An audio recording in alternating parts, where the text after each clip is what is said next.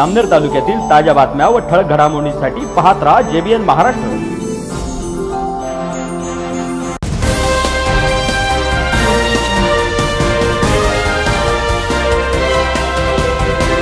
नमस्कार मी विनोद चौधरी. पाहूया काही ठळक वृत्त. आद्य शिक्षिका क्रांतीज्योती सावित्रीमाई फुले यांची जयंती व महिला शिक्षक दिन जामनेर शहरात राष्ट्रवादी काँग्रेस पार्टीच्या सामाजिक न्याय सेलच्या वतीने पंचायत समितीसमोर साजरा करण्यात आला. उपस्थित महिला पदाधिकाऱ्यांच्या हस्ते क्रांतीज्योती सावित्रीमाई फुले यांच्या प्रतिमेला पुष्पहार अर्पण करून अभिवादन करण्यात आले. तर यावेळी माळी समाज बांधवांसह राष्ट्रवादी काँग्रेस पक्षाचे पदाधिकारी कार्यकर्ते उपस्थित होते.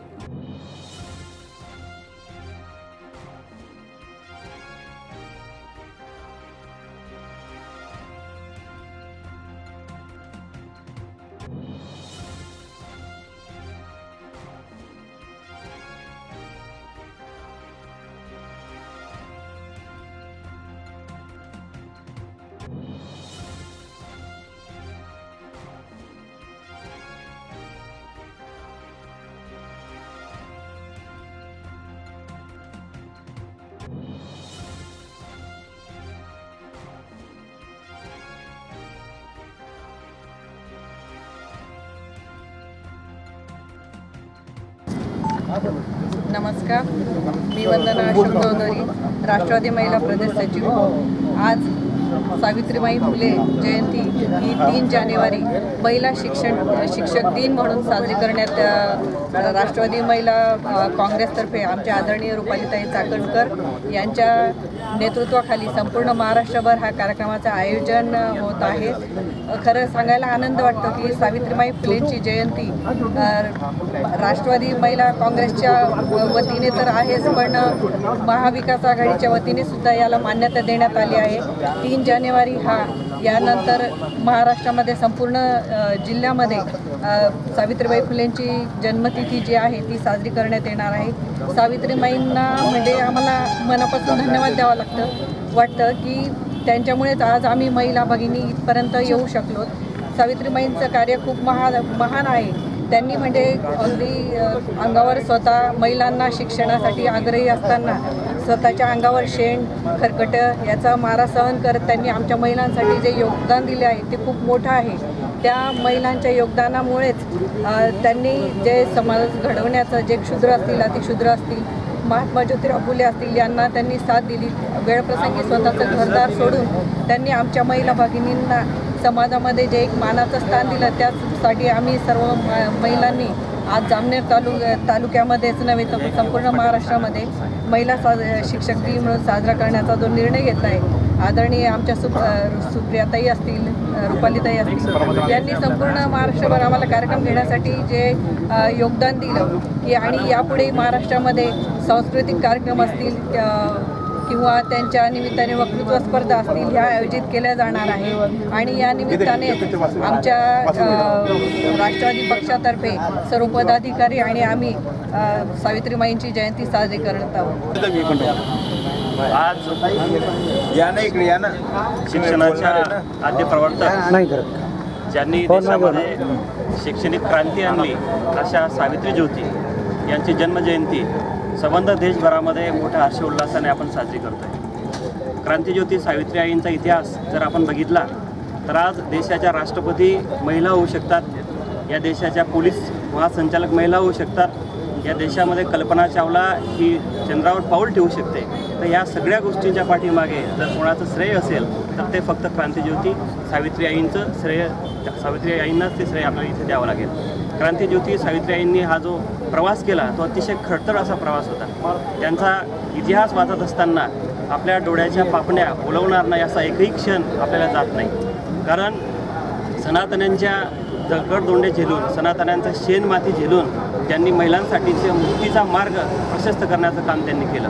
आजपासून शेकडो वर्षापूर्वी ज्या काळामध्ये महिलांना फक्त चूल आणि मूल यामध्येच गुरफटून ठेवण्यात आलेलं होतं उंबरठ्याच्या बाहेर त्यांना पाय टाकण्यासुद्धा मनाई होती.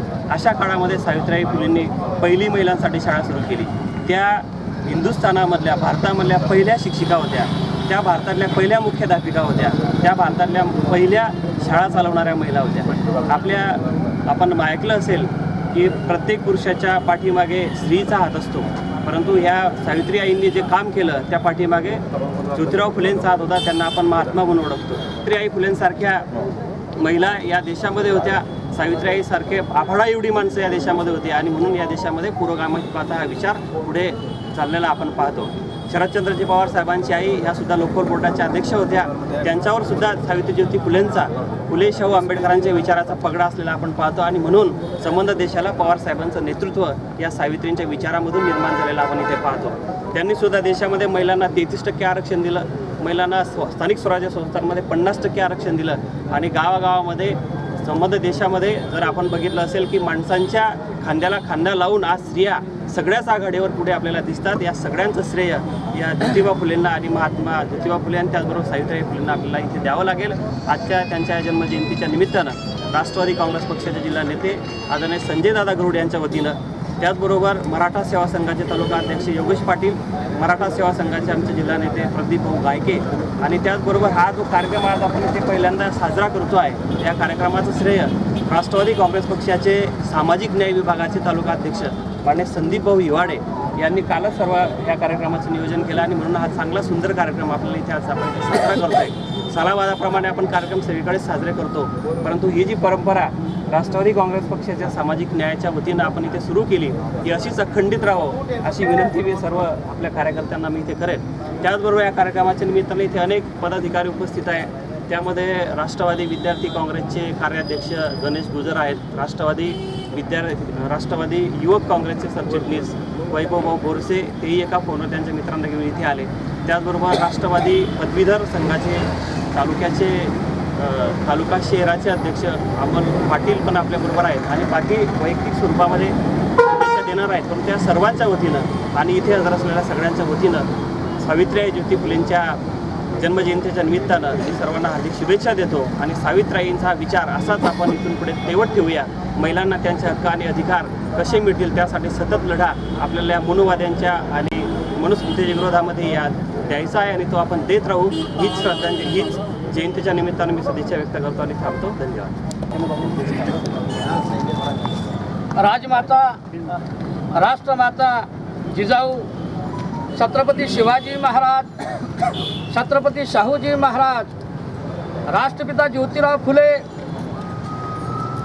आज ज्यांची जयंती आहे त्या क्रांतीज्योती राष्ट्रमाता सावित्रीबाई फुले डॉक्टर बाबासाहेब आंबेडकर संत गाडगे महाराज लोकशाहीर अण्णाभाऊ साठे या सर्वच बहुजन महापुरुषांच्या विचारांना आणि कार्याला मी प्रथम आधी अभिवादन करतो.